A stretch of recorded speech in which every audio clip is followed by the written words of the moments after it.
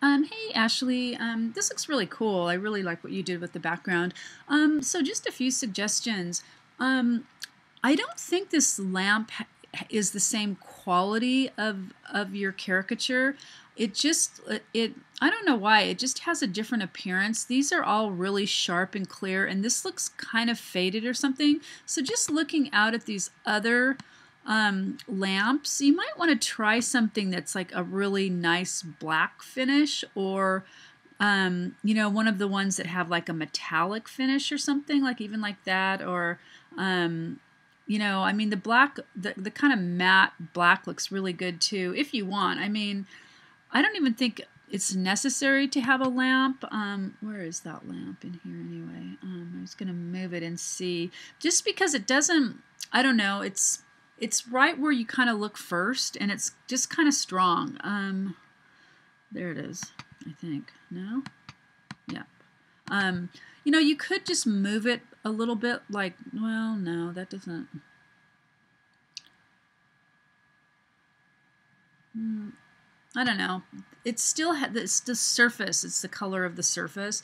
Um, I'm not sure if you had a chance to look at the lighting effects, but they're kind of cool too. Um, so if you go to um, layer render, um, I mean filter render, and just try some of these. There's some really crazy ones in there. Um, uh, not that one, obviously, but where's the, oh, where's the menu? Huh wonder where the menu went. Okay, oh, well, I don't know. This new version has a really different menu. Um, but again, you can kind of move these lighting effects. Maybe you already did that. Um, I don't know. But then you can you can move the um, the hotspot around too. So um, let me see metallic. What does that do? Yeah, I don't know about, I don't know. I mean, these can look really good. Um, unfortunately, they just really changed the menu though. And these, the, all of it used to come up. And so you could really just kind of um, go use that panel. Let's see here. Um, okay, I'm not saying to use this one, but I found, you know, every time there's a, you update, things change. There's a, I have to move everything over here there's this here, and that's where you can change the, um, you know, the different um, lights. You probably already did that, though. It kind of looks like you may have. Um, soft direct lights.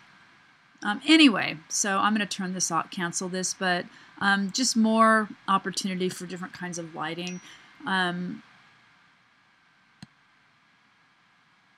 so yeah, but but overall everything looks great. Okay, I'm sorry, I'm getting off on this lighting thing, but a couple other little areas that you could work on is right here and and the only reason I'm saying this is it, it's pretty noticeable. You might want to kind of just smooth that out um, or you know just even erase part of it so it's not this harsh edge. Um, I mean I know it's supposed to have a harsh edge but it just um, it just looks a little abrupt. Um, and with these letters, I think I already showed you this, but I don't know. Maybe it won't even, maybe it'll look terrible, but um, I was just wondering what the perspective um, transformation would look on it if this N was a little bit bigger.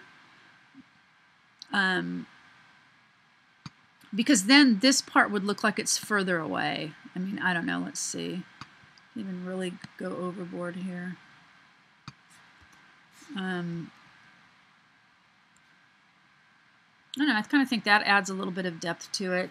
Another thing that I would also suggest is, um, you know, with your text, putting each word on a different line and really working this a little bit more. You have a lot, you had a, have a lot of ne negative space here, so I would make the text bigger, and you could probably, I mean, I don't know what you're going to do with the lighting, but I would, you know, you can do computer, critter, Chris.